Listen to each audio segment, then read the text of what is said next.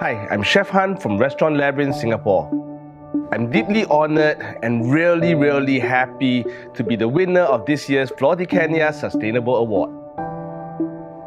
So here at Restaurant Labyrinth, the cuisine is what I term New Singapore cuisine or a new expression of Singapore cuisine that focuses mainly on local produce and heritage of Singapore flavors in order to bring out the authenticity of Singapore cuisine.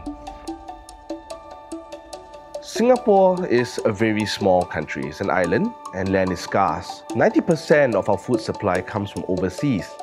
And as such, especially for the younger generations, it's hard for them to envision Singapore being anything else other than an urban jungle and food being readily available off the shelves at supermarkets.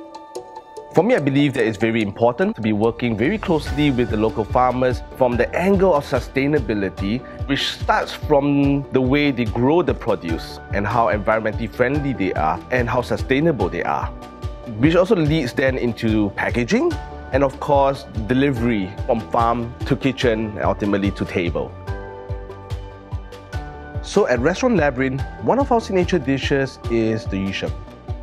For me, it best represents our sustainability cause. So in this hyper-local dish, we have the barramundi, which is grown from an offshore fish farm, the old cucumber, a native indigenous flower called the ulam raja, the Malay term for what they call the king of flowers. They taste like green mangoes. Gives the same sensation eating all the different root vegetables of the yu sheng.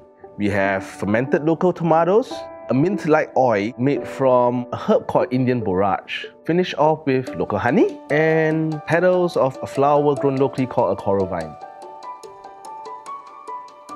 It's important to also understand how ingredients grow in different environmental conditions so that we as chefs and farmers have an open dialogue in order to improve both the methods of growth of produce as well as how we cook in the kitchen. So sustainability is not just about environmental sustainability. It's also about community sustainability.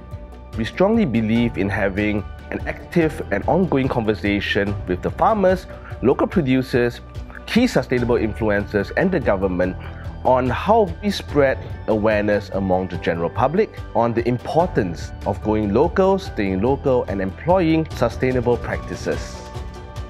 My hopes for the future It's not just for the message of sustainability to spread in Singapore, but to also hopefully rally other chefs who are facing the same challenges as we do in Singapore to work together towards building a better future for the younger generations.